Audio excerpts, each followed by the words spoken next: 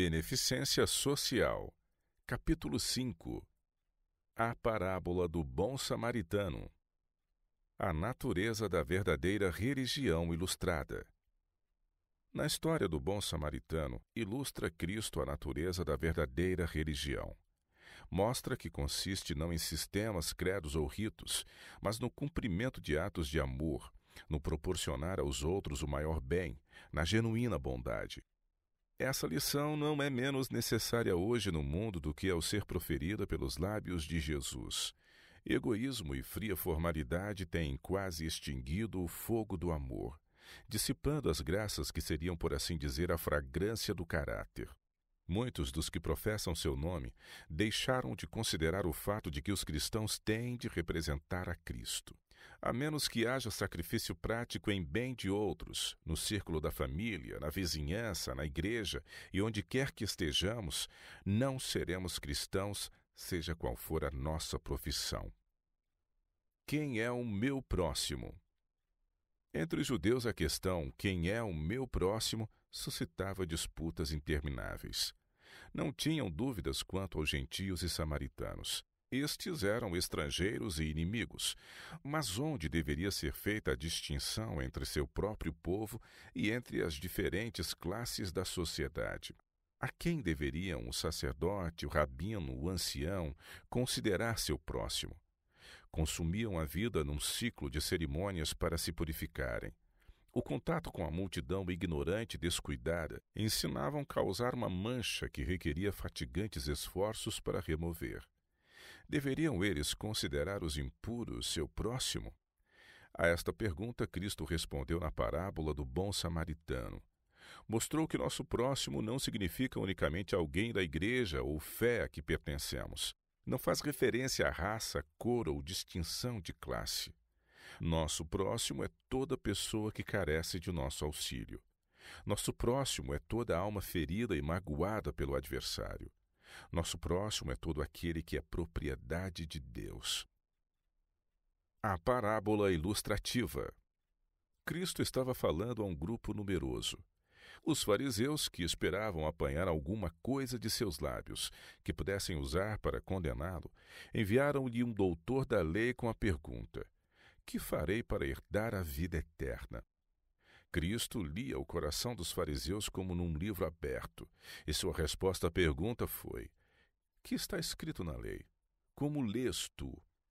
E ele respondendo disse: Amarás ao Senhor teu Deus de todo o teu coração e de toda a tua alma e de todas as tuas forças e de todo o teu entendimento, e ao teu próximo como a ti mesmo. Respondeste bem, disse Cristo. Faze isso e viverás. O doutor sabia que por sua própria resposta se havia condenado a si mesmo. Sabia que não amava ao seu próximo como a si mesmo. Mas, desejando justificar-se, perguntou: E quem é o meu próximo? Descia um homem, disse, de Jerusalém para Jericó e caiu nas mãos dos salteadores, os quais o despojaram e, espancando-o, se retiraram, deixando-o meio morto. Na jornada de Jerusalém a Jericó, o viajante precisava atravessar parte do deserto da Judéia. O caminho passava numa garganta rochosa e deserta, infestada de salteadores, e era muitas vezes teatro de violências. Fora aqui que o viandante tinha sido atacado, espoliado de tudo quanto possuía de valor e abandonado meio morto no caminho. Estando nestas condições, um sacerdote por lá passou, viu o homem ferido e maltratado, engolfado em seu próprio sangue, porém deixou-o sem prestar-lhe auxílio. Passou de largo. Apareceu então um levita. Curioso de saber o que acontecera, deteve-se e contemplou o sofredor. Estava convicto de seu dever, mas não era um serviço agradável. Desejou não ter vindo por aquele caminho, de modo que não visse o ferido. Persuadiu-se de que não tinha nada com o caso e também passou de largo. Mas um samaritano que viajava pela mesma estrada viu a vítima e fez o que os outros recusaram fazer. Com carinho e amabilidade tratou do ferido.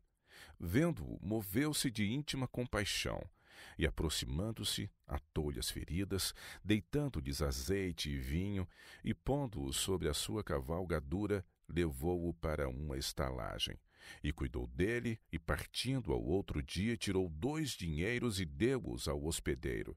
E disse-lhe: Cuida dele, e tudo o que demais gastares, eu te pagarei quando voltar. Tanto o sacerdote como o levita professavam piedade, mas o samaritano mostrou que era verdadeiramente convertido. Não lhe era mais agradável fazer o trabalho do que o era para o levita e o sacerdote. Porém, no espírito e nos atos, provou estar em harmonia com Deus.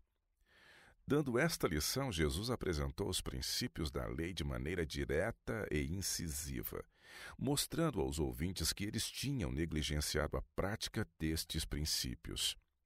Suas palavras eram tão definidas e acertadas que os ouvintes não podiam achar oportunidade de contestá-las. O doutor da lei não encontrou na lição nada que pudesse criticar. Seu preconceito a respeito de Cristo foi removido mas não tinha vencido suficientemente a aversão nacional para recomendar por nome o samaritano. Ao perguntar Cristo, qual, pois, destes três te parece que foi o próximo daquele que caiu nas mãos dos salteadores? Disse: O que usou de misericórdia para com ele.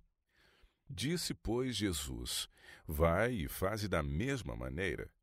Mostra o mesmo terno amor para com os necessitados. Assim demonstrarás que guardas toda a lei. Qualquer pessoa necessitada é nosso próximo.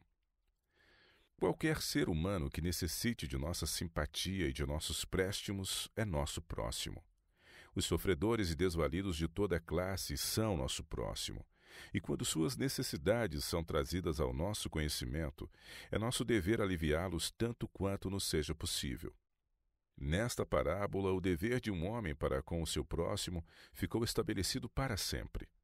Devemos cuidar de todo caso de sofrimento e considerar-nos a nós mesmos como instrumentos de Deus para aliviar os necessitados até o máximo de nossas possibilidades. Devemos ser coobreiros de Deus Alguns há que manifestam grande afeição por seus parentes, amigos e favoritos, e, no entanto, deixam de mostrar bondade e consideração aos que necessitam de terna simpatia, aos que necessitam de bondade e amor. Com fervor de coração, perguntemo-nos a nós mesmos: quem é o meu próximo?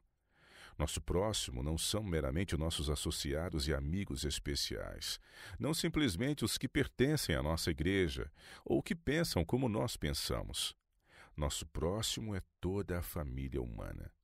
Devemos fazer o bem a todos os homens, e especialmente aos domésticos da fé. Devemos dar ao mundo uma demonstração do que significa praticar a lei de Deus. Devemos amar a Deus sobre todas as coisas e ao nosso próximo como a nós mesmos a verdadeira religião mal representada. O sacerdote e o levita haviam estado em adoração no templo, cujo serviço Deus mesmo ordenara. Participar desse culto era grande e exaltado privilégio, e o sacerdote e o levita sentiram que, sendo tão honrados, estava abaixo de sua dignidade servir a um sofredor desconhecido ao pé da estrada. Assim, negligenciaram a oportunidade especial que Deus lhes deparara como agentes seus para abençoar um semelhante. Muitos hoje em dia perpetram um erro semelhante. Dividem seus deveres em duas classes distintas. Uma classe consiste em grandes coisas reguladas pela lei de Deus. A outra nas assim chamadas coisas pequenas, em que o mandamento amarás o teu próximo como a ti mesmo é passado por alto. Esta esfera de trabalho é deixada ao léu e sujeita à inclinação e ao impulso. Deste modo, o caráter é manchado e a religião de Cristo mal representada. Homens há que pensam ser humilhante para sua dignidade o servirem à humanidade sofredora. Muitos olham com indiferença e desdém os que arruinaram o templo da alma. Outros desprezam os pobres por diferentes motivos. Estão trabalhando como creem na causa de Cristo e procuram empreender algo de valor. Sentem que estão fazendo grande obra e não se podem deter para notar as vicissitudes do necessitado e do infeliz. Sim, até pode dar-se que, favorecendo sua suposta grande obra, oprimam os pobres. podem colocá-los em circunstâncias difíceis e probantes, privá-los de seus direitos ou negligenciar-lhes as necessidades. Apesar disso, acham que tudo isto é justificável, porque estão como cuidam, promovendo a causa de Cristo. O vasto alcance dos reclamos da lei de Deus. Deixar que o próximo sofredor fique sem ajuda é abrir uma brecha na lei de Deus. Deus levou o sacerdote a transpor este caminho para que ele pudesse ver com seus próprios olhos um caso que necessitava misericórdia e ajuda. Mas o sacerdote, embora no exercício de um santo trabalho, cuja obra era demonstrar misericórdia e fazer o bem, passou de longe. Seu caráter fora exibido em sua verdadeira natureza perante os anjos de Deus. Para efeito de ostentação, ele faria longas orações, mas não era capaz de guardar os princípios da lei em amar a Deus sobre todas as coisas e ao seu próximo como a si mesmo. O levita era da mesma tribo que o sofredor, ferido e maltratado. Todo o céu observava os passos do levita estrada abaixo, para ver se o seu coração seria tocado com a dor humana.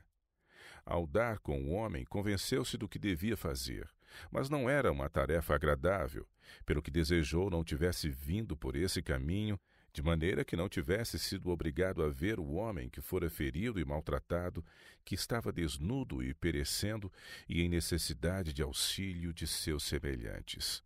Ele seguiu seu caminho, persuadindo-se de que isto não fazia parte da sua atividade e de que não precisava preocupar-se com o caso. Pretendendo ser um expositor da lei, um ministro das coisas sagradas, passou não obstante de largo. Envolvido na coluna de nuvem, o Senhor Jesus havia dado especial indicação quanto à prática de atos de misericórdia para com o homem e os animais.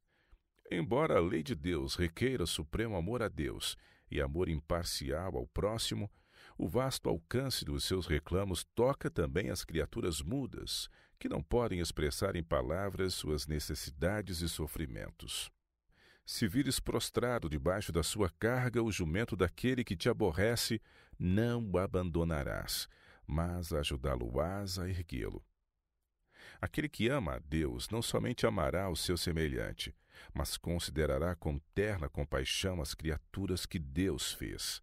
Quando o Espírito de Deus está no homem, leva-o a aliviar o sofrimento antes que a criá-lo os princípios da lei de Deus foram esquecidos. O sacerdote e o levita não tinham desculpa para sua fria indiferença. A lei de misericórdia e bondade foi claramente exposta nas Escrituras do Velho Testamento. Foi sua obra designada a ministrar a casos exatamente como esse que friamente haviam passado por alto houvessem eles obedecido à lei que diziam respeitar, e não teriam passado por este homem sem ajudá-lo. Mas eles haviam esquecido os princípios da lei que Cristo, na coluna de nuvem, havia dado a seus pais quando os levou através do deserto. Quem é o meu próximo? Esta é uma pergunta que todas as igrejas precisam compreender. Tivessem o sacerdote e o levita lido com entendimento o código hebreu, e sua maneira de tratar o homem ferido teria sido absolutamente diferente. Condições para a herança da vida eterna. As condições de herança da vida eterna são claramente afirmadas por nosso Salvador da maneira mais simples. O homem que fora ferido e roubado representa aqueles que dependem de nosso interesse, simpatia e caridade. Se negligenciarmos a causa dos necessitados e desafortunados que nos vêm ao conhecimento, não importa quem sejam eles, não temos a garantia de vida eterna, pois não estaremos correspondendo aos deveres que Deus sobre nós impõe. Não nos compadecemos ou nos apiedamos da humanidade, porque podem não ser de nossa parentela. Haveis sido achados transgressores do segundo grande mandamento, do qual dependem os últimos seis. Qualquer que transgredir num só ponto torna-se culpado de todos. Aqueles que não abrem o coração às necessidades e sofrimentos da humanidade também não abrirão o coração aos reclamos de Deus estatuídos nos primeiros quatro preceitos do Decálogo. Os ídolos perem o coração e as afeições, e Deus não é honrado e não reina supremamente. Oportunidade vossa e minha. Deus dá hoje aos homens oportunidade de mostrar se amam ao próximo. Aquele que verdadeiramente ama a Deus e aos semelhantes é o que mostra misericórdia ao desvalido, ao sofredor, ao ferido, aos que estão prestes a perecer. Deus reclama de cada homem que assuma sua obra negligenciada de buscar restaurar a imagem moral do Criador na humanidade. Como podemos amar nosso próximo como a nós mesmos? Só podemos amar nosso próximo como a nós mesmos se amarmos a Deus acima de todas as coisas. O amor a Deus dará frutos em amor ao próximo.